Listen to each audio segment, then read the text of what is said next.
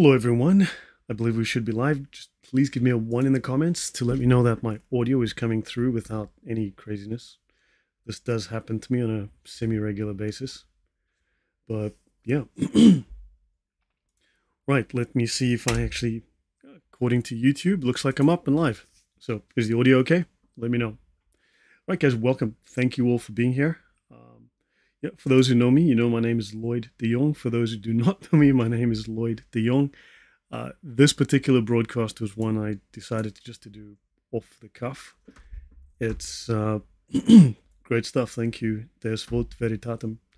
Andrew Martin says, I really didn't want to leave this world without knowing where I was going. And that was where I started my search looking into the South, trying to find that place of peace. Yeah, you know, Andrew, Islam, as you know, does claim explicitly to be Gnostic. Ishan Shah, welcome. Uh, we've got Andrew, freethinker, uh, his servant, welcome. Uh, let's see, we've got Ken Johnston, um, who says Brian is a very naughty boy. Yes. Uh, uh, Horse, welcome. And uh, Timur, most blessed. Uh, yeah, check it out after work. So this is an introduction, something I promised to do some time ago and I can see why he went into Islam now. Andrew says, yeah, it's Gnosticism. In fact, I've been doing a lot of background work on Gnosticism and also Hermeticism, and they are worse than I realized. They are far, far more insidious and far worse. Kush, welcome.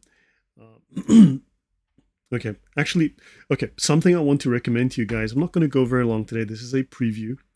I do want you to have a look at the new Discourses channel. Now, what is fascinating is James Lindsay used to annoy the living daylights out of me. James Lindsay, Sergeant Grinch, welcome. Thank you. So, James Lindsay used to be, let's say, a little hardcore atheist, and he was very critical of Christianity. However, if you watch him today, um, Ishan Shah, it's okay, try collaborating with Apostate Prophet and David Wood, please, need a large audience um, look, I may as well call up the president and say, "Hey, uh, president of Joe Biden, let, us do a show together. Please promote my channel, dude." It's it's about as likely as me calling up Joe Biden or the president of France, or you you pick the president. Okay, I may as well call up the Pope and ask for an interview and have him promote my channel.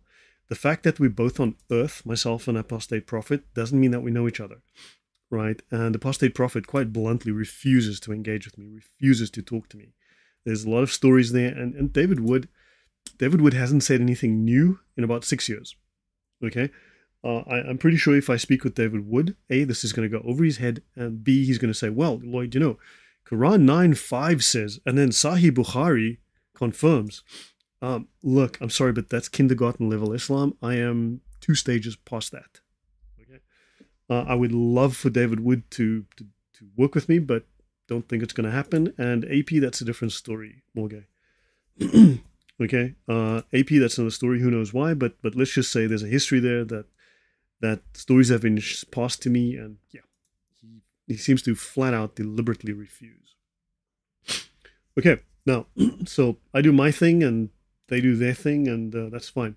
Okay, back to James Lindsay. James Lindsay has been putting out some stuff that is phenomenal. I must admit, two years ago, the guy just just annoyed me and got up my my nose. Now the guy, as you said, yeah, he understands the healthy cultural values of Christianity. Now he gets it. He is starting to. You know what? I, I was listening to this guy recently, and I was thinking a week ago, and I was thinking, give him twelve months, he'll be Christian. Honestly, he is. He understands. He is starting to say things. He is starting to say things about Gnosticism and Hermeticism and the, the ideas of Marx and the Enlightenment thinkers, he says, look, they all seem to come from one source. They all seem to be expressions of one source that is quite literally opposed to the Christian view, to the Western view, to, West, to Western values. And he starts to say that this really literally strikes me as the biblical definition of satanic, the opposer. And he is he's starting to use very Christian language, which is such a surprise. Now, look, I would strongly suggest 13 days ago he released this one, The Dialectical Faith of Leftism. I would encourage you to, he is starting to tie Gnosticism and Hermeticism in. Uh, he's definitely, I've gained a lot of knowledge from him, but I've been on the same path and, and he's he's feeding my knowledge as well. So yes, you need to look up this one. Sorry, uh, uh, the dialectical faith of leftism. Oh, good grief, it's constantly jumping now. Let me go here. This one, the dialectical faith of leftism. You need to listen to this one. It's an hour 43. Take your time, but you have to listen to this. He explains it. And also, what's interesting is he's starting to say that wokeism, queer theory, all of this stuff, he says this is not a philosophical battle. This is not just a political battle. He is now starting to phrase this explicitly as this is a theological battle. It is a theological war. He starts to understand the theological underpinnings here. Bear that in mind. Watch this. This is brilliant. This guy is starting to, he's waking up. I mean, he's genuinely, this guy is nailing it. So I did not like him before, but, but you know, people have told me and I, I listened and I, this, this guy is on fire right now. Thank you, in Christ. okay. Andrew Martin, correct. We do have modern civilization because of Christianity. We have science because of Christianity. We have the scientific method because of Christians. So apostate prophet is okay in his field. However, his arguments for atheism are so bad. Yeah, I agree. His arguments for atheism are terrible. It's so stupid it makes my head hurt. It's like a yeah, yes, Big Servo. Yeah, I happen to agree with you fully. But is Christian Gnosticism, if it is in Christian, better? No, it is not. It is not even Christian. It is fully. We're going look when I go through the series. You're going to understand that atheism is derived ultimately from sixth century Greek paganism, which is from the foundation of Sophism and also Gnosticism. You'll find there's Gnosticism in atheism, but but that's anyway. Gnosticism is ultimately, and we're going to be demonstrating this, satanic. It is ultimately entirely satanic. It is not what you think it is. Welcome, Dragon. Thank you for being here. Okay, LGBTQ is a faith commitment, correct? Let me see. I mean, at most we become a Christian agnostic. Me, no. So do not confuse agnosticism with Gnosticism. They are very different. Okay, let me jump into where I'm going with this. I may be interrupted. I may need to switch off my camera for a minute and go unlock the door. So, okay, let me jump into this. So, we're talking about nonsense, the fundamentals of nonsensicism, because I can tell you now, it is nonsense. Hermeticism is equally laughable honestly, it is laughably funny when you look at actual verifiable history. It is just just bogus, laughable nonsense, just like atheism for that matter. So Gnosticism was born when Neoplatonism met Egyptian mysticism, and I would agree. There's there's certainly truth in that, Adele Cole. That is most certainly true, and it really is nonsense. Agreed. Let's continue. So the main source of this, or shall I say, the inspiration for this, was a talk by Dr. David Falk, who runs the channel Ancient Egypt and the Bible. This was Gnosticism Explained, Part 1, an introduction and primer. It is actually very interesting. Now, I will say the content is very, to some degree, dry. It is very academic, very useful. However, I, I, uh, I, I, think there's more to be said about this. Uh, he doesn't seem to really prefer controversial subjects. I tend to dive straight in. I did invite David Falk to come on my channel and speak. He did agree to and then ghosted me. So, Marius Sweet, welcome. Thank you for being here. So, if you guys want to go and ask him politely, don't swamp the guy, but ask him politely. Arnold Nathaniel, welcome. Ask him, please, if he's willing to uh, to come on the channel. You know, the invitation is there. Okay, so David Falk, just so you know, he holds four degrees from the University of British Columbia, Trinity Evangelical Divinity School, and the University of Toronto. Published in areas of the ancient Near East and new religious movements, and has worked for many of the leading technology companies in North America, including IBM, Sun Microsystems, and Oracle. Okay, this is one of his papers, Ancient Egypt, Ancient Egypt and the Origins of Gnosticism, an exploration into Egyptian pre-Socratic literary traditions and philosophy. so he tells us here, scholarship suggests Gnosticism originated from either competing Christianities. Now that, unfortunately, that idea of competing Christianities, it's like saying that that two things which are opposites or three things which are utterly com- com- competing and contradictory are the same thing. No, these things are anti Christian, they are antithetical. Or pre Christian Jewish heresy. These views depend on Neoplatonism as a foundational philosophy to the genesis of Gnosticism. Yes. A lack of early Neoplatonic textual evidence is a problem that inhibits Jewish heresy view. Okay? So it is not a Jewish heresy, right? It is something that is separate from, in fact, it seems to compete with Judaism, right? Overwhelming evidence supports the identity of pre-Christian Gnostic sects. Great. Egyptian theologies provide a set of philosophical constructs and literary traditions necessary for the genesis and development of first century BC Gnostic sects. Its ideas can be traced to from the first dynasty through the literary traditions of Egypt until it developed into Gnostic and notice Hermetic thought. There's a lot of parallels between Gnosticism and Hermeticism in order to inductively provide a more plausible explanation for the development of Gnosticism. I agree. Right. So, nonsensicism. It is confusing and complex, and deliberately confusing and complex. Right. yes, proto-Gnosticism, in fact, Gnosticism was rebuked by the apostles, by the apostles. That is true. Right. Gnosticism is a complex, it is widely misunderstood religious system. It is an anti-Christian, it is completely antithetical to Christian theology. Just like Islam claims we worship the same God, Gnosticism wants to make the same claim because they're both Gnostic. Islam is Gnostic. It makes the claim. It is more than a reaction to Christianity, it is anti Christian. It is the product of Egyptian and Platonic thought with roots going back nearly 1200 years before Christ. It is intended, this series is intended to gently introduce the topic and add new insight. Thus, it should allow for better research, study, and understanding. So, this is a easy overview. It must be noted that Islamic law claims Islam to be Gnostic. The scholars of Islam in the fiqh are claimed to be true Gnostics, the true Gnostics. It is an ancient enemy of the church, inspiring many heresies. It is an enemy today. Gnosticism or nonsensicism is widespread today, even in church thinking. Right, so Tildir, I'm going to do two slides just to summarize where we're going. Duh, it's socialism. So you've often heard lefties, Gnostics, Democrats, same thing, say it's all the same. You know, religion is all the same. All these things are all the same. Well, there's always a source behind a philosophy. So, in philosophy, as distinct from theology, Gnosticism means a dialectic of or strife between opposites or contraries. Obviously, we have Hegel, who influenced Marx, who spoke about dialectic, spoke about the dialectic, right? Where two, where let's say a primitive idea that's fading and a modern idea that's on the rise, these two meet, they clash, you have the you know you have the thesis you have the antithesis then you get the synthesis and then of course you you escalate you move up history progresses right? This is now hegel was a uh, hermetic right? Which which means he was bat poop insane right? Of course marx few people realize marx was we could probably call marx a satanist. He was certainly gnostic but he's also a satanist right? Contradictory as that may be so these opposites, these dialectics, these strifes, these contraries, they eventuate in the necessity for a secret knowledge or gnosis. In Gnosticism, these opposites that are in strife are part of the larger pantheistic whole.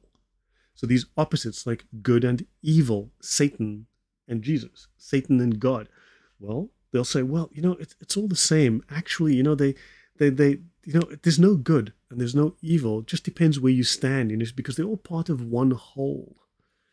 I mean, if you watch recently, there was the Kathleen Kennedy had this little showcase on TV, this little about some new Star Wars episodes, and one of the guys who plays a character, I believe he plays the uh, Wookiee Jedi, he goes, uh, you know, in Star Wars, you know, there is no good and there is no evil. You know, there's no such thing as good and evil. It it really just depends on where you stand and what your perspective is. This is Gnosticism. There is nothing evil. Dualism, yes.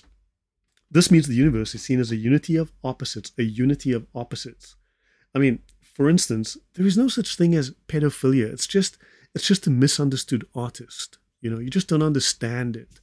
And that these opposites are not really opposed to each other, but are rather complementary parts of a larger whole, which means that they, they need to embrace opposites, and opposites are not contradictories.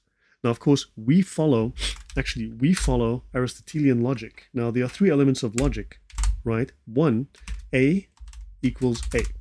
P is P, right?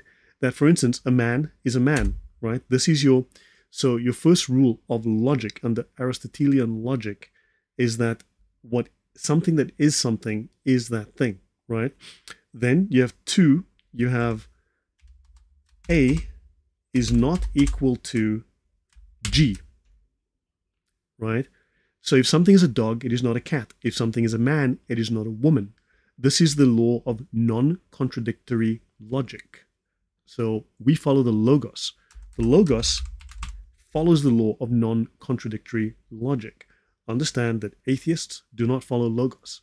Gnosticism, Hermeticism, all of these crazy sects do not follow the logos. They do not follow non-contradictory logic.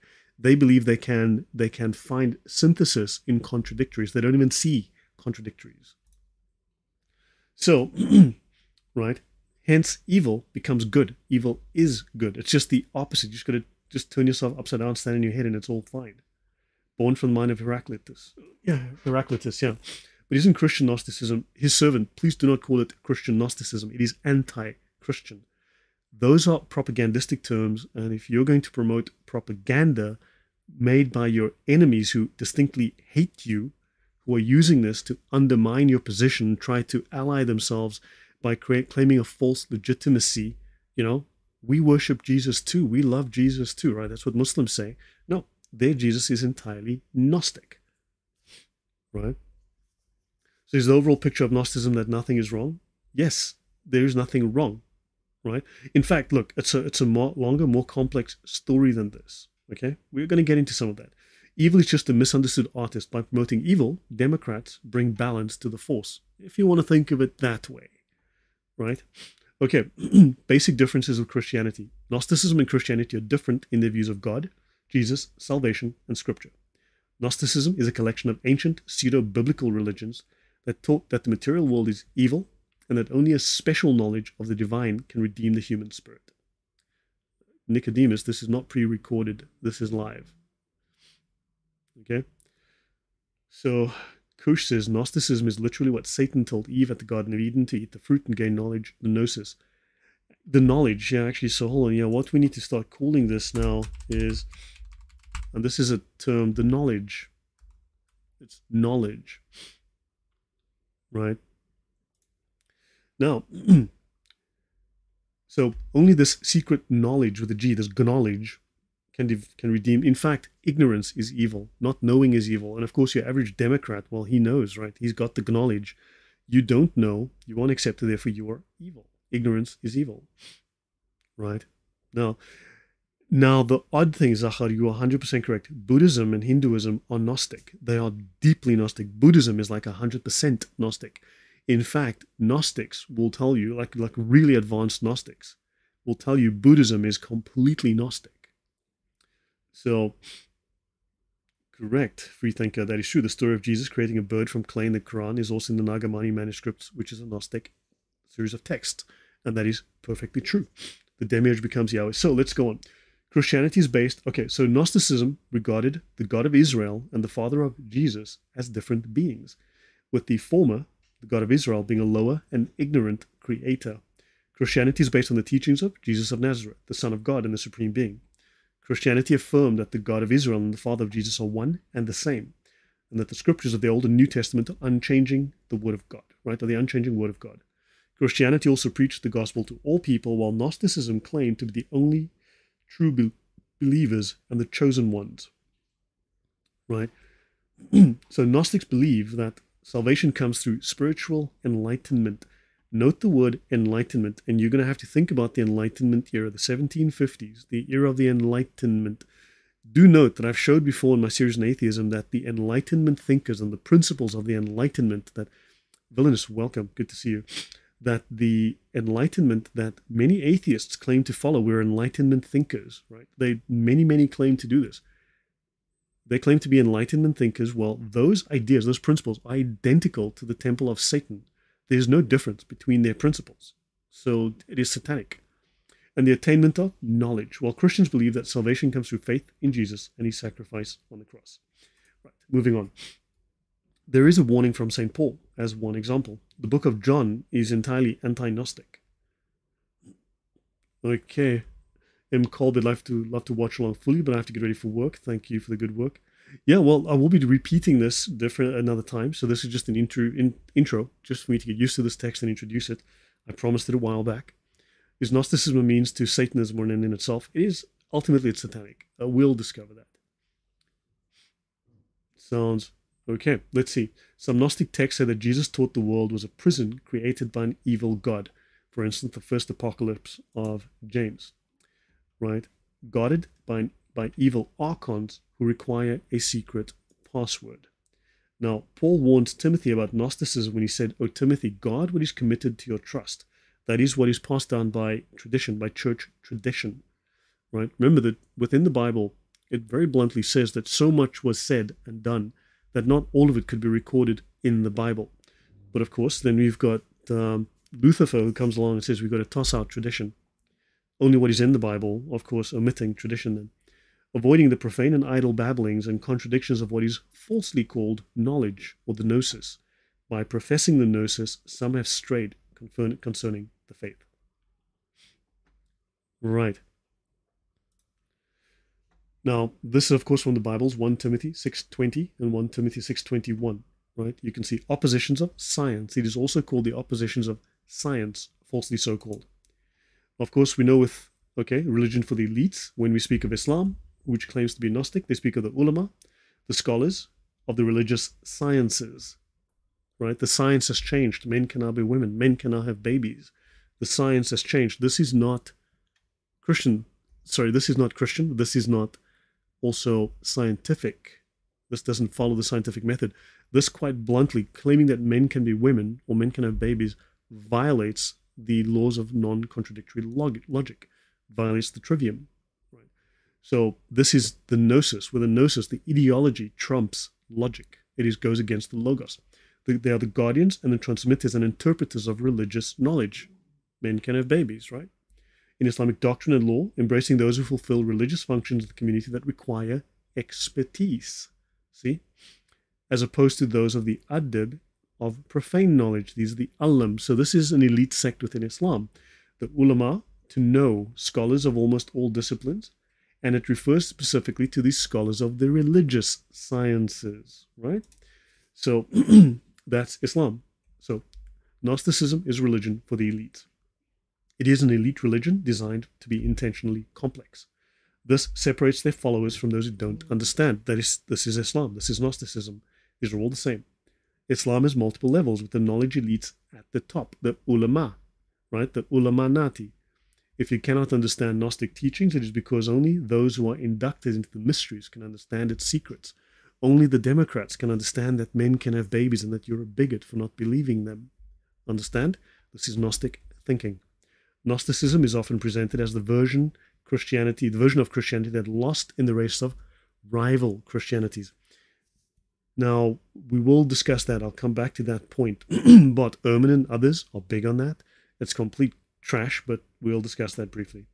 But simply, Gnosticism is a religious system that has as its central tenet salvation through secret knowledge.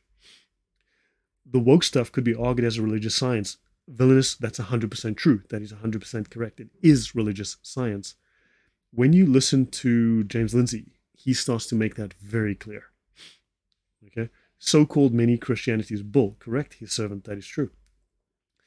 In Christ says, wow, so many similarities. Yes. Wow. Illuminati, of course. The Illuminati. Uh, you get hold on. You have seen me do this before. It's not like it's the first time I'm doing this. Um, hold on. So now I need to go find this again because it keeps coming up. Um, oh, great. So now I'm going to find this book.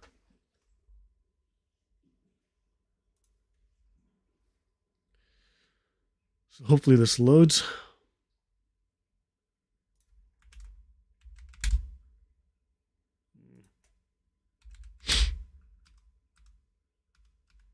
Ah, oh, great. Come on, please.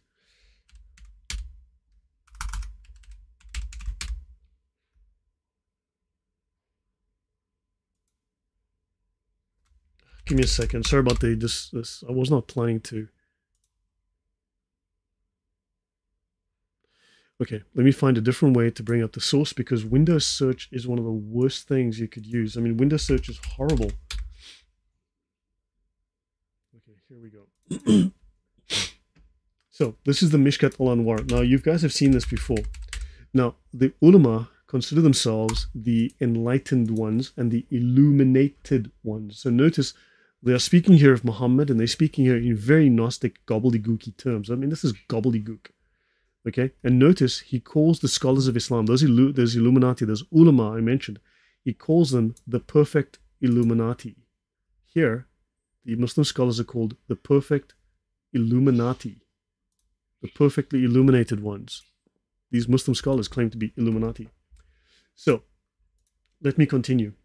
So, a general tendency was to be observed among practitioners of the religious sciences to consider as certain knowledge only that inherited from the Prophet, albeit with nuances conditioned by theological orientation. And the science par excellence is that which derives from the Prophet. All the rest, real science in other words, is useless or does not deserve to be called science. Only this religious science, you know, men can be men can be women, men can have babies, right? These this is atheists doing this. They do not follow the logos. Atheism is, is ridiculously stupid. So numerous prophetic traditions on the study of science concern only religious knowledge. We can compare this to wokeism. the Ophites and Cainites were also Gnostic sects. Look up the word Ophites. That's another interesting thing. Look up what Ophites means and what it's about. Is Darwinism connected to Gnosticism? I'm going to do a series on Darwinism. I've already collected the notes. I need to edit, get around to it one fine day. Um, I would say maybe yes, maybe no. I don't, I can't answer that. Not now. I don't know enough. But I will tell you it is connected to Marx loved that stuff. And basically it's it's creating it's creating a, a creation myth for atheists, denying God. Except Darwin never discussed the creation.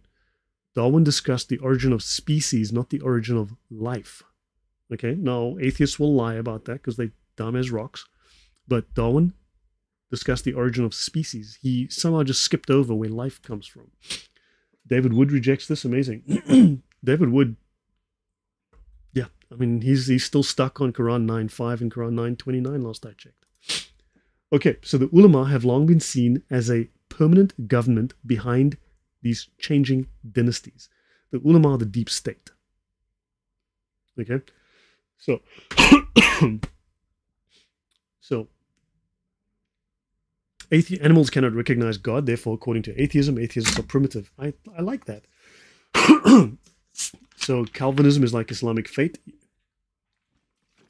You'd be surprised man, one day I'm going to talk about Calvinism and Lucifer, Martin Lucifer, and all these things. And yeah, that's a little, there's a little more Gnosticism in there than we'd like to think. The early church fathers. So non-synthesis appeared in the writings of the early church fathers, the apostles of the apostles. it is the great rival of early Christian faith, appearing roughly contemporaneous with it. Many believe it died out in the fourth century. Critics of historical Christianity use Gnosticism as a basis for comparison. Much of the historic status of Christianity hinges on the nature of the conflict between early Christians and Gnostics. The texts of the Mandaeans have been used by scholars like Rudolf Bultmann to support the thesis of a pre Christian Gnosticism which influenced the New Testament. In other words, Christianity drew from, copied Gnosticism, which is fascinating. This is the guy over here. He lived from 1884 to 1976. He was a German Lutheran, Luther, Luther, he followed Luther, theologian and professor of the New Testament at the University of Marburg. He was one of the major figures of early 20th century biblical studies. I should mention that this idea was one that was really prominent with a scholar called, called Werner Bauer, the Bauer thesis. Oh, they lost their 15 year old son in disease. Oh, I'm sorry to hear that. okay, so so yeah, David Wood's a different role. He's busy enough. Yeah, I mean that's fine. I mean, but look, I think David Wood needs to catch up with. He's a little bit behind, I think, at this point. And Damian, welcome. On the other hand, let's look at a guy called E.M. Yamauchi. This is my Mandaic incantation text. Now, this is much more modern information, right? This is later research, newer research, more thorough, more detailed compared to some of the older research which sparked off the whole anti-Christian movement. So Yamauchi, whose dissertation examined the earliest Mandaic text, concludes that the Mandaeans could not have originated before the second century AD. So Rudolf Bultmann has some explaining to do. Why am I coughing, man? Because I've got the worst case of hay fever I've had in three, four years. I don't know. So he notes that their emphasis upon marriage and procreation distinguishes them from the ethics of other Gnostic groups. Now, we will be talking about this whole idea of marriage and procreation. We will be discussing some of those as we go. He suggests that the Gnostic theology was transmitted by a migration from Transjordan to Mesopotamia, where this was fused with an indigenous cult from the observation of many ancient Mesopotamian elements, which have been retained in their magic and rites, just like Islam has magic and rites. It is probably their strong ritual tradition which has enabled the Mandaean community to become the only Gnostics to survive to this day, and that is not true. Muslims are bluntly, outright Gnostics. They make the claim. William Wanderley and Frank Cedric, welcome. Says, You're doing a great job, Lloyd. We're all blessed that you share so much knowledge. Thank you very much. Islam is so dark to the point that it says all science are false except what Momo said. Yes, I just showed that, but that's that made its way into the Sharia. Muslims will deny Ibn Taymiyyah, but his words are now part of the ijma, the consensus. So, Tony, I agree with you. I fully, fully agree with you. Right. Okay, now, Elaine Pagels has her fifis hurt. She wrote here the Gnostic Gospels, long buried and suppressed. The Gnostic Gospels contain the secret writings attributed to the followers of Jesus. Attributed to. It's like saying, it's like, it's like me saying the, the formula E equals MC squared is attributed to uh, to Martin Luther.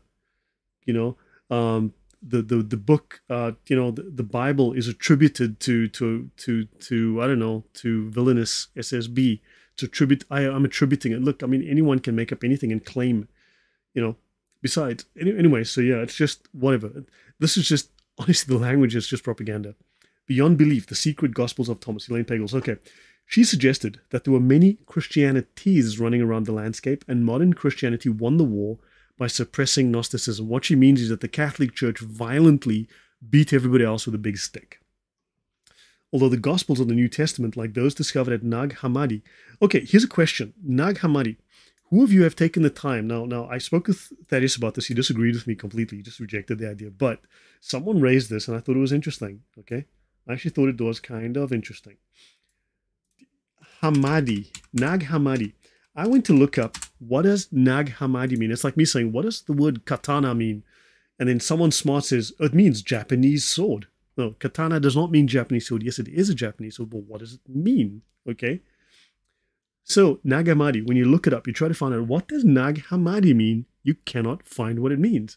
They'll say, well, you know, it's a place in Egypt where, you know, they found these scrolls that that contain the the the, the Gnostic texts, you know, that that's that's it's a place where where samurai cop.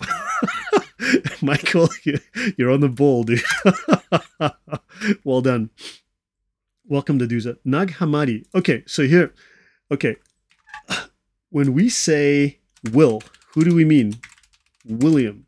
When we say Bill, we mean William, because Bill and Will are diminutives of William. So, Hamadi means belonging to, of Hamad. Of Hamad. What is Hamad? Well, Hamad is the diminutive of Mohammed. Hamad is the diminutive. So Nag Hammadi, Nag comes, Nag, you can, you'll find it in Arabic, it's Naj right?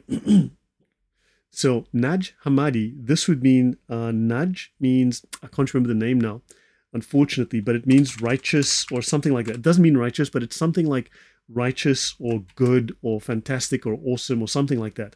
But basically, it means effectively something like it's not the word righteous, but it's something similar. It, means righteous Muhammad. Now they find these Gnostic texts at a place called the Righteous Muhammad. What do you guys think of that? I mean, is that just sheer coincidence? I mean, that these Gnostic texts, right? What do you guys think of that? Uh, I'd love to see your, your comments. Don't ask what the short form of Richard. Yes, we won't. Nagging Muhammad. So, what do you guys think of this? You know, this idea, this Nag Hammadi. It's not righteous. The word will come to me what it means. Okay, moving on from this. Sounds sus to me, Andrew Martin says. Yeah, it sounds a little sus to me too. So she says, although the Gospels of the New Testament, like those discovered at Nag Hammadi, are attributed to Jesus' followers, no one knows who actually wrote any of them. Thank heaven she's truthful there. According to Pagels, the Gospel writer's creation of Satan gave rise to the moral history of the West. This material is painful, she says, because you see, Christians created Satan, and then they then they called everything evil, and then they othered everybody else. The Christian idea of Satan led to demonization and then to persecution of others because there is no evil. Villainous SSB, they found the original Quran. Exactly. Nag Hammadi, the original Quran. So Nag Hammadi is the cradle of heresies that guided Momo. Crazy. He's serving it. Well, look, I mean, I can't prove it, but but yeah, I mean, think about it. Why is it so hard to find out what it means? So RJ Nag is Egyptian dialectical for nudge. Dialectical form. Yes, I mean that's what I discovered. It was from nudge. So so Muhammad means the praised one. Is his name for giving him his real name was Kutam. Yeah, well, whatever it was. So notice basically there was no evil, you know, but Christians created evil and then they introduced evil into the world like nasty people. It's like it's like it's like the Romans stooping little kiddies in the bum was okay. Okay? For Pagels, there's no difference between nonsensicism and Christianity. They are equal Christianities. How do you have things that are opposite, completely opposite? How do you say people who like abortion and people who dislike and are deeply against abortion are equal and the same? Do you understand? She has given up, she checked her brain in at the door and flushed it eventually because it wasn't being used. Do you understand? This violates the logos, it violates the basic laws of logic that violates the laws of contra- non contradictory logic. So, now, unfortunately, this idea of equal Christianities, this is called the Bauer thesis, and it's very popular with a guy called Bart Ehrman. You may have heard of this scholar called Bart Ehrman. So, the Bauer thesis. So, Bauer, Werner Bauer, also lives from about 1870 to the 1930s, late 1930s, somewhere around there. Dies in the 60s, maybe, whatever. But check him out 1876 to 1939 or 1970, or whatever it was. So he claimed that Gnosticism inspired and influenced Christianity. And, you know, his proof of the fact that Gnosticism influenced Christianity was second, third, and fourth century texts. So, in other words, um, you know, basically it's saying that that Islam, the, the Quran, it's like it's like Mr. Bauer coming along and saying the Quran inspired the Bible. You see, the Bible is based on the Quran because you see, what happens is the, the Quran, written in the sixth century, inspired those authors in the first century. This is the absolute trash that this guy wants to claim. And then, two, the guy wants to make the claim that these utterly contradictory ideas to Christianity, these antithetical ideas, are the same. They were all the same, they're all equal, and just one of them won out because the Catholic Church beat everybody else up. Okay, now, St. Irenaeus, the Bishop of Lyon, in his book Against Heresies, now that it has a further subtitle Villeneuve says, yes, this multiple Christianity in the early church is such nonsense. That is true. It is complete crap. And one day I'll be talking about it. I've collected notes on that. I need to get around to that too. Horse says, and prior to the Hebrew God, it was quite all right to sacrifice children to pagan gods. Yes, it was. No evil there, just like the modern left are sacrificing children. Correct, to Baal. Right? Now, Against Heresies has a longer title on the refutation and overthrow of the so called knowledge. Right? On the refutation, it's also some translated as on the discovery or on the detection and overthrow of so called knowledge. Uh, correct you, servant. These people don't know jack or care about facts. But then again, Gnostics do not care about history. Ask a Gnostic to show you archaeological evidence for their claims about the New Testament. Ask them to show you archaeological evidence, proof that, that, there's, that their beliefs are grounded in any kind of historical reality. There is zero, zero right? So Irenaeus wrote that Christianity was passed down to him from the apostles, who knew Jesus personally, while the Gnostics and Marcionites were distorting the faith. The Gnostics offered salvation through secret knowledge available only to a few. Irenaeus contended that the true doctrines of the Christian faith are the same taught by bishops in different areas, while many of the Gnostics viewed the material world as flawed and from which believers sought to escape to an eternal realm of spirit. Irenaeus saw creation as good and ultimately destined for glorification. And he says, I have spared no pains, not only to make these doctrines known to you, but to furnish the means of showing their falsity. So shall you, according to the grace given to you by the Lord, prove an earnest and efficient minister to others, that men may no longer be drawn away by the plausible system of these heretics, which I now proceed to describe. Yes, God bless Saint Irenaeus. so, Irenaeus, Valentinian, and Saint Paul. Gnostics borrowed the phraseology and some of the tenets of the chief religions of the day. There was a free mixing within these non logos ideologies. They were freely borrowing and sharing ideas that even didn't make sense. Especially, they took from Christianity, just like Islam did. Matter was a deterioration of spirit, the whole universe a deprivation of the deity, with the ultimate end of all being to be the overcome of the grossness, the sickness of matter, and the return of the parent spirit, a return they inaugurated and facilitated by the appearance of a God sent Savior, their version of the Gnostic Jesus. Big Sofa says atheism be like we are machines for making copies of DNA. Also, atheists I do not want to have children. There's no meaning in life. Abortions until nine months. Heck, abortions until 24 months easily these days. I mean, you know, nudge distinguished. Yes, Joel Thomas, that's it. Nudge is distinguished. Thank you very much. Yes, distinguished Muhammad, the distinguished righteous one, the distinguished. So Nag Hammadi, Naj Hammadi, the distinguished righteous one. Is that a coincidence? Is that a coincidence? I mean, seriously, the distinguished Muhammad, the distinguished righteous one, the distinguished praised one. To me, you know, it, little bells go in my head, right? And go like, mm, something there. Am I simulcasting on Rumble too? No, I am not. I wouldn't know how to do that. I, mean, I probably could figure it out if it's possible. Um, I do.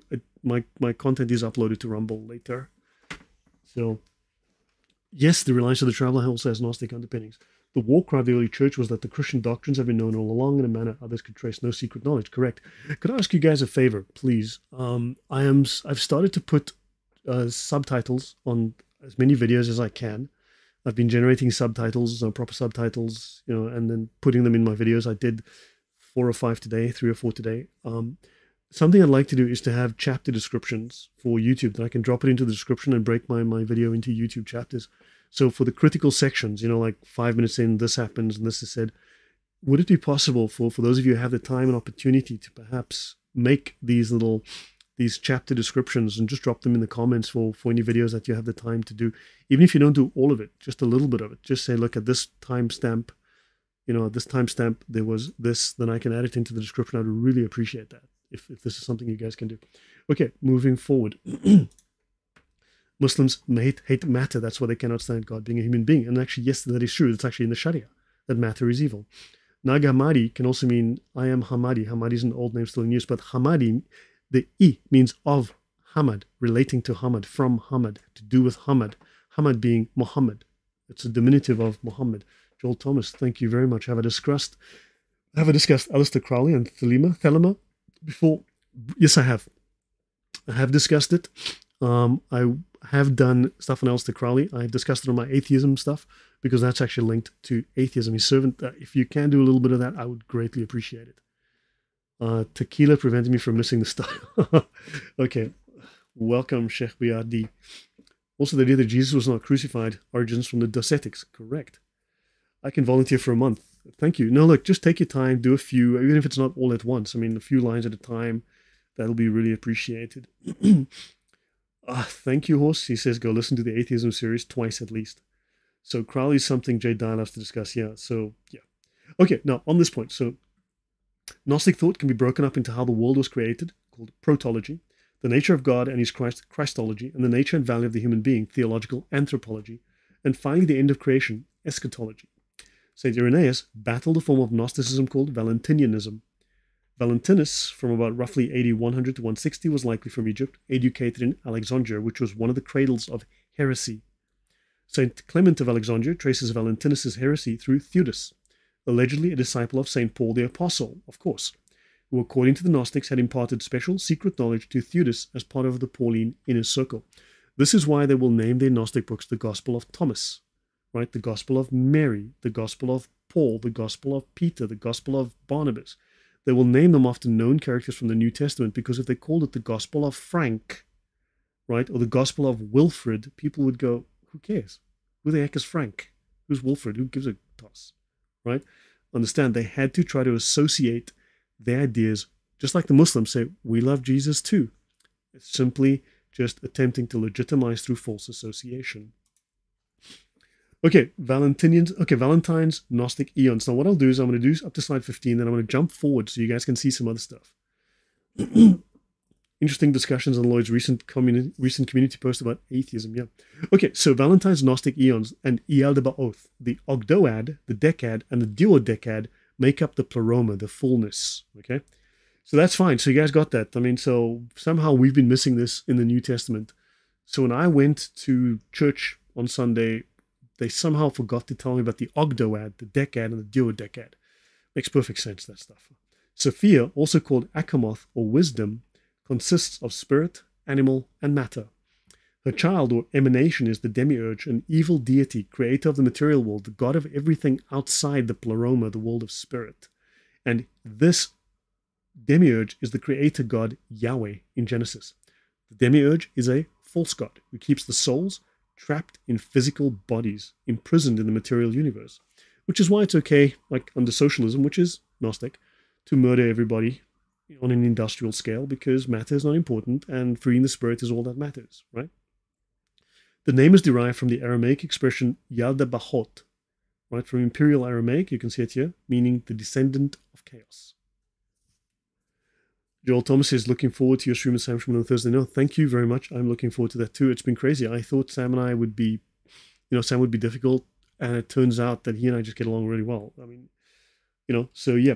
Okay, so let me let me go here. I am going to jump ahead here for a little bit because what I want to show you guys is the following.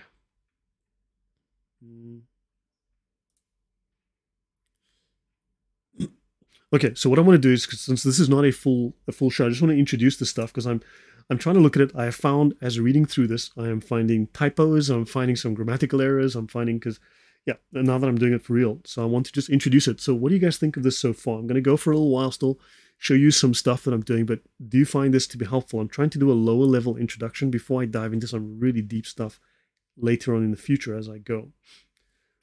So Nathaniel says the demiurge is also called a fool. Saklas or something. So the creator of the universe was a fool according to the Gnostics. Interesting. I need to find out more. The tragedy is that many Christians think that Gnosticism is dead. No, it's in the church today. That's the real harm. That's where the inroads are made correct. Remember, the, the, the smartest thing the devil ever did was to make you think he doesn't exist, right? Notice that Sophia is also an actual Christian term, the Hagia Sophia, frustrating distortions from Gnosticism, correct. They want to associate themselves falsely. IL says, love your work. Thank you. Yep. So, so do you guys, is it all making sense hanging together? Does this all, because helpful material. Arnold Nathaniel says, thank you. No, thank you. I know. I appreciate the feedback, the support, the, the comments. It really makes a difference. Um, yeah. So, because look, I mean, I'm, I'm trying to do this for you as an audience, and I'm, I'm, I'm hoping that my thoughts are logical and sensible. I, I do try to bounce these with other people privately before I do this. So, but I need this. Um, so I'm going to try to do this at a lower level, shorter slides. Like this, this is a total of 36 slides, for instance, right in this one. Ronan Ramirez, says, fascinating stuff, release. Thank you. Okay. His servant says, we need this to be common knowledge. Yep. No, thank you. Yeah. Okay. So I'm going to introduce this. I'm not going to finish it all, but commonalities. Okay. So one to eight commonalities, henotheism. So, so there are there are eight concepts that are common across many Gnostic groups. So, by no means universal, there are eight commonly shared beliefs. Look, once you really dig into Gnosticism, this stuff becomes satanic. Okay, it becomes anti-life. It becomes quite literally anti-life.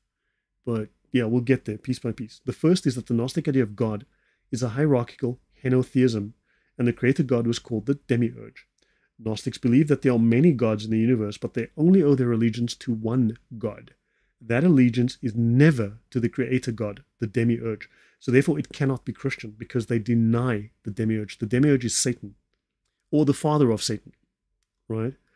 So understand there are many gods and they can pick a god. So really, it's it's a form of polytheism. Do understand?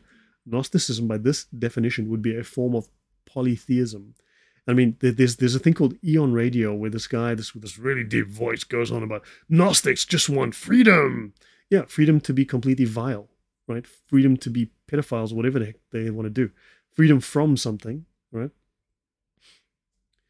Okay, so Sister in Christ is very interesting, and although I know little about Gnosticism, I find I can follow. And they want you to know little about Gnosticism. Anarchy, correct. Anarchy, correct. But not the good form of anarchy where, where it's like freedom from government, right? Or, you know, it's this is this is freedom to do as you like. No moral boundaries, no moral strictures. Do you understand that. The way they mean words and the way we mean words are different. So I like the Haman Hammadi Codex. Very interesting. Thanks for your explanation for the majority. Thank you, solution. Okay, that's great. Appreciate it. okay, interesting. The Human Rights Manifesto is a Gnostically charged idea that seeks to replace the laws of God. And we are seeing this. Yes, Lydia, welcome. And we're seeing this in the world today. nostalgic. nostalgic. I like that. It's nostalgic for Muslims. Hey, Yeshua. Okay, so within the pantheon, all the Gnostic gods are fundamentally equal except the amount of light they contain. They do not owe allegiance to the god with the most light. Gnostics can pledge allegiance to eons that specialize in wisdom, truth, light, repentance, or personalities such as Messiah, Christ, Jesus, Yahweh, Adonai, Mickey Mouse, Tortoise, Hare, Blue Whale, you know, hippopotamus, fill in the blank. This conflicts with Judeo Christian monotheism. Understand? Think about it. How many people in your life haven't told you, I wish you love and light? Freaking Gnostics, right? Love and light. I've heard that plenty. So Des Volt Veritatum says it is helpful, but does have overwhelming information bombs. Sometimes maybe some simple. This is the simple summary, buddy. This stuff is going to get very technical and very complex. This is the simple summary. Um, you know, sorry, but there's a there's a limit to how simple I can make it. I mean, it's it's tough. You know, um, so I'm making these shorter, simpler um, slides lately to try to introduce it gently and then build on each slide to make it more and more complex. Could be reaching, but it seems there's a pattern there. What kind of pattern are you seeing, Nicodemus? Have you covered Alexander Dugin? Uh, I've a friend of mine is an expert on Dugin. I've got two friends who are experts. One is a, a Romanian. Um, uh, hold on. The one is. Uh, I actually know this dude. this guy's an expert on Dugin. Freedom Alternative. Okay, excellent. Back in 2015, I started this. This dude, I actually know him. I've actually I actually know him. Interesting character. Uh, he knows Dugin very well. Go to him. He's done the definitive episode on Dugin. Yeah, I know him. I've met him a few times. He's a very cool. Very cool guy. Um, I actually donated money to his channel this month, so I I, uh, I like his work. You know, he does some good work. He's, uh, he's he, so yeah. I mean, I try to support other creators as well. Okay, so Gnostics believe there are many gods, right? They do not owe allegiance, and this conflicts. So you cannot call Gnosticism Christian. I mean, seriously, anyone who looks at, at, at Gnosticism realizes they're lying, just like Muslims lie about Islam being Christian, right? Yeah, his stuff is funny. The guy's actually very funny. You must watch his story on free and open source software. Man, that was great. As a as a former Unix administrator myself, I was like, yes, I agree with him. So notice they say knowledge is in the way of Allah, jihad right? This world and what is in it are accursed. See, this is the Islamic view. The religious scholar is greater in reward than the fighter in the way of Allah. I thought jihad was the greatest reward you can get, but no, it's not. Studying the secret knowledge in Islam, right? So, number two, commonalities, two of eight commonalities. The physical world and the body are corrupt.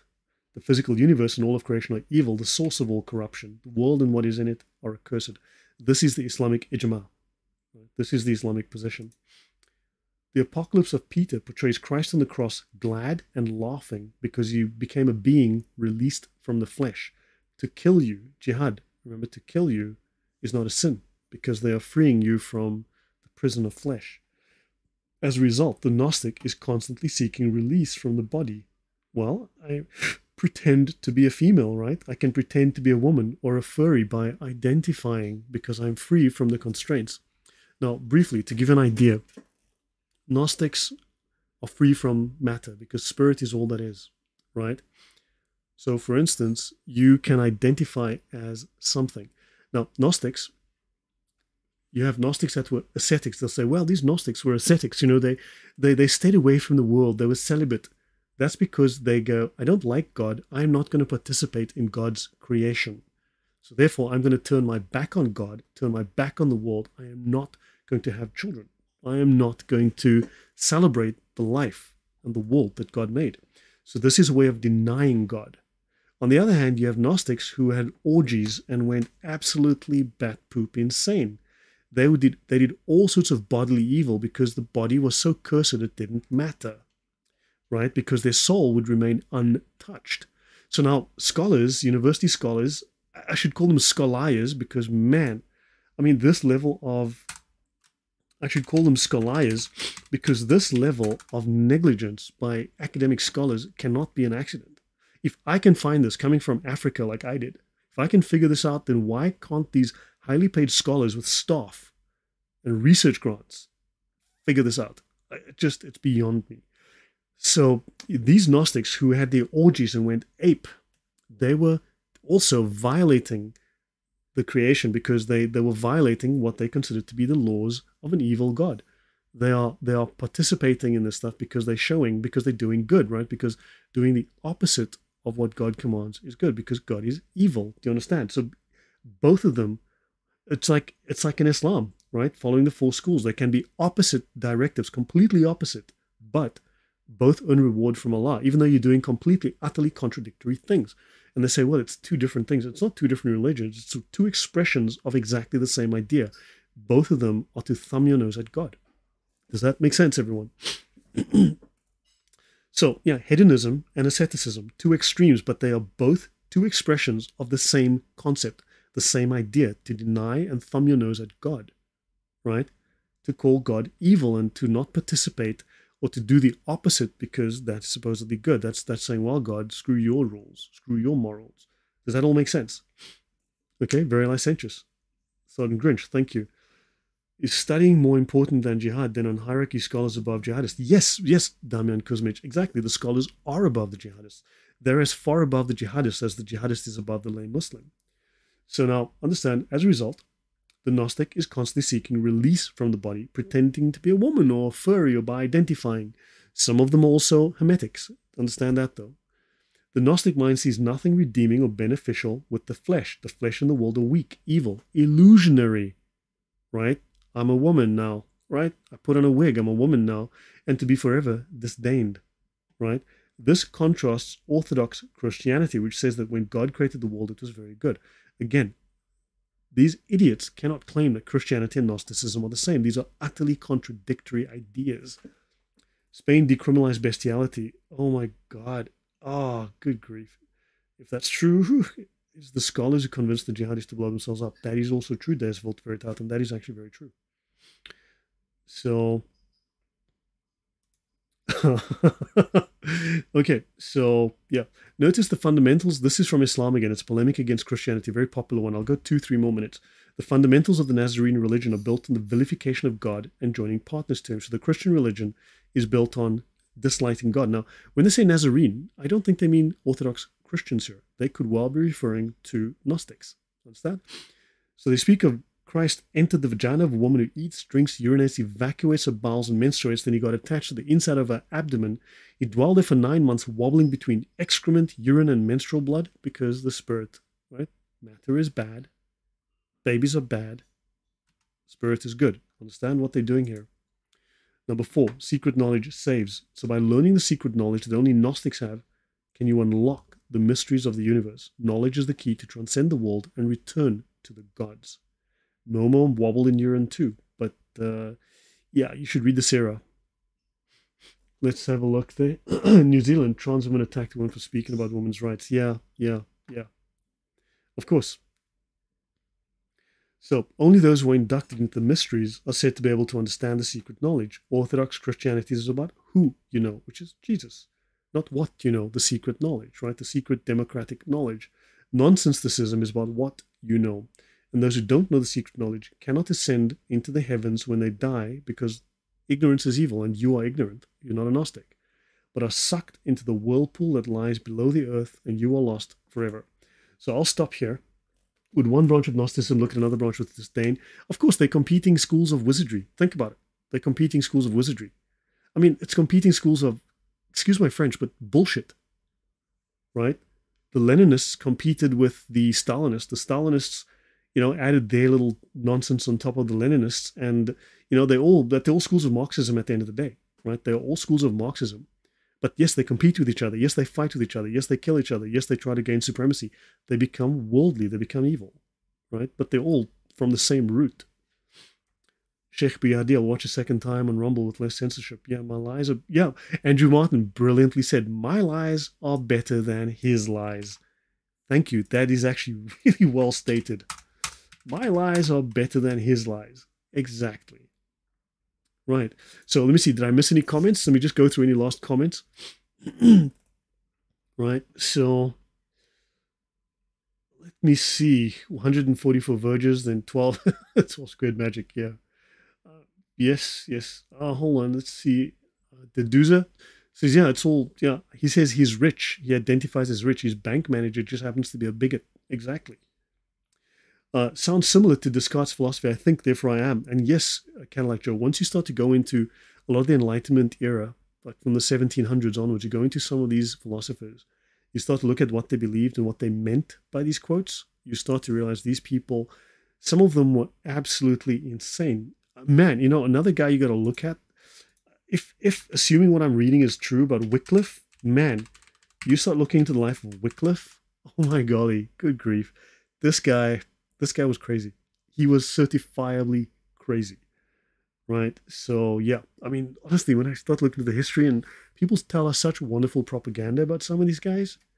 I mean, man, once you get into like, as I said, my favorite character, the life of Lucifer, you know, first name Martin, start to look into his life, his history, the things he did, the things he said look at his Meccan period, you look at his Medinan period, eh, it doesn't look so good anymore. This guy looks, he just comes across as a scum. Absolute scum. Okay, what am I missing? so, so guys, have I made a point? Have I been logical? Have I been, I know I jumped forward a bit here, but have I been logical? Has this information been credible? Has it tied together things?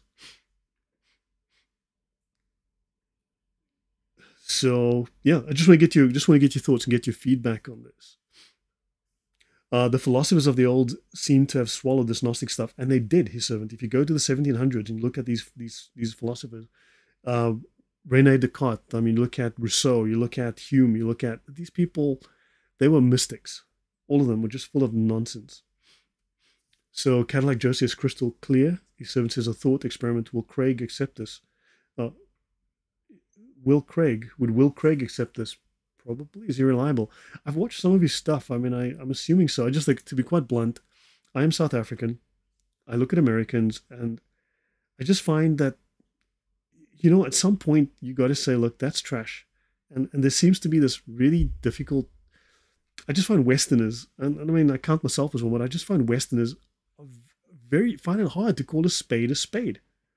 You know, I look at a transgender, it's a freaking cross dress. It's a man, it's a man with a dick. Okay? Excuse my French, but it's, that's a fact. Right? I don't think it's unchristian to state that. It's the truth. It's an absolute scientific fact. And then you, you find these Republicans who are so wishy washy in their language. I mean, dude, that, that's a penis. Call it what it is, please.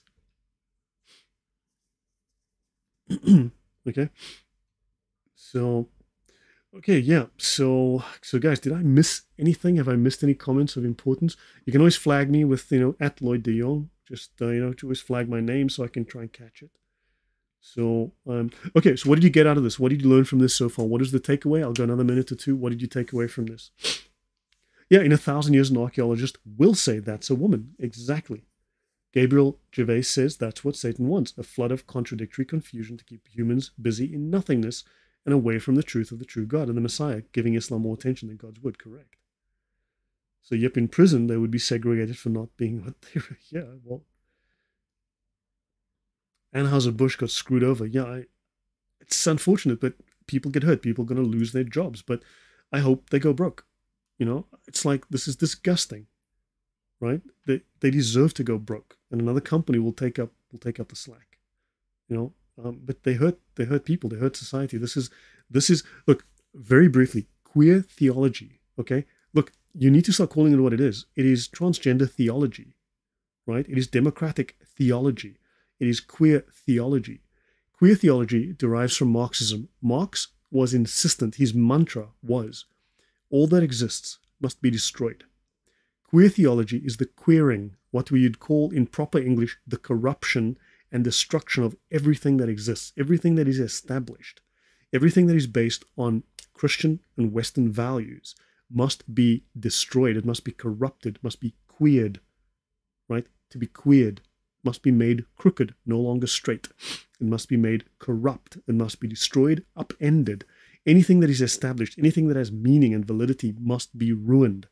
This is what they're doing. It's simply Marxism under a different name. Okay, it's poop with sauce. Okay, that's all it is. Marxism is literally anti-family. If you read his Ten Commandments, right, Marx's own little Ten Commandments, yes, it is explicitly anti-family. So this isn't Anheuser-Busch's first run with wokeism. I gave them around 10 years ago. Gave them up for some woke nonsense. I can't remember. Yeah. Yeah, those poems by Marx are clearly satanic. And there's more than that, Nathaniel. There's actually more to Marx and his satanic writings than that. So, so yeah, Christian church must wake up. Yeah, the church, I mean, man, I'm so disappointed. You know, look, call a spade a spade. Okay. So Gnosticism seems to be the foundation to what we see today Buddhism, Hinduism, Islam, Freemasonry, and all this New Age and genderless society. Correct. Queer was a bad word, not Pledge of Allegiance. And Lloyd, yeah, yes. So, guys, uh, let's see. Uh, the alphabet people are so oppressed. Yeah, of course. So, so guys, I will call it here. Thank you very much for your time. I hope this was helpful, useful, logical, factual, right? So I'm deriving this from from lots of different sources as always, but I'm trying to simplify, right? I'm sorry if I if I if I don't make it simple enough with three year olds to understand. I'm not making content for three year olds, right? So yeah, so guys, knowledge is power. Okay, we need to understand now. Now, I would rather have a few people that are smart, grasp this, use it, than a bunch of people who are half baked, you know, go off half cocked. I'd rather that someone takes the time and focuses, right? So Jesus only needed 11 people. Think about it that way. He didn't ask for 5 million to be his apostles. He picked 11, right? So understand that a few people can make a difference. So, guys, this is the preview. I will do this again. I will maybe do this with Thaddeus or someone else. So, this is just to introduce it. Uh, love your feedback. And also, again, if any of you can spend the time to look at some of my videos and just put those YouTube chapters, make those little, you know, just just put it in the comments. I'll drop them in so I can start to split some of the longer videos up into relevant sections so people can just go to a piece they like, like on the KKK in my Gnostic series or whatever, you know, or the section on the on Baron von Sebottendorf or whatever. You know, that'll be really cool if you guys can do that. Jesus had 12, and then, of course, uh, you remember one of them sold him for 30 pieces of silver. Kush, you know, Judas, 30 pieces of silver. So scratch one, 11 left, right? okay, guys. So, yeah, I'll call it here. So, thank you all. My, my voice is going. Can we do that in your videos? Yes, please. Just add it to the comments. I will drop it into the description so that, you know, it, it starts to make those chapters. But, guys, um, so this is going to be an introduction. I've got lots more detailed stuff, but uh, thank you for the feedback. I hope it's been useful. If Jan Irvin is still producing content, you know, I speak to Jan now and again. I actually do drop him messages. Um, but no, he's he's he's uh, he changed careers or whatever and got into something else. So no, we we've spoken about bringing him on and talking about things, but um, um, yeah, no, he hasn't made something in a long time. You know, you know what I'd love is if he would be open to to giving me his channel with all these subscribers, and I can maybe revive it and start doing content. That would, or give me access at least to his channel to stream on it. That would be great. Okay, guys. Oh, I should ask him about that. So thank you, guys. Have a great evening. Okay. I don't want four-hour versions like that. Channel. Okay. So, guys, I'm out of here. Take care. Good night. God bless. Goodbye.